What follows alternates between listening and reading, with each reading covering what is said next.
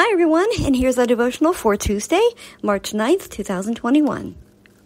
Ye are of God, little children, and have overcome them, because greater is He that is in you than He that is in the world. 1 John 4 4, KJV.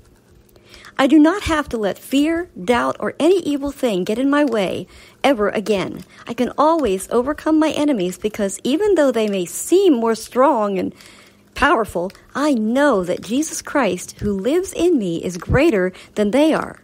He has given me all I need to defeat them. Wow, praise God. Isn't that great? So, you know, we talked yesterday about overcoming evil with good. And so we can do that because the God we serve is so much greater than any evil or any enemy or any wrong that's done against us. Praise God. He is greater than all that. Okay, we're going to sing this song. If you know it, sing it with me. Greater is he that is in me. Greater is he that is in me. Greater is he that is in me than he that is in the world. Praise God. Let's remember that today too. And may the Lord bless you all and be with you till tomorrow.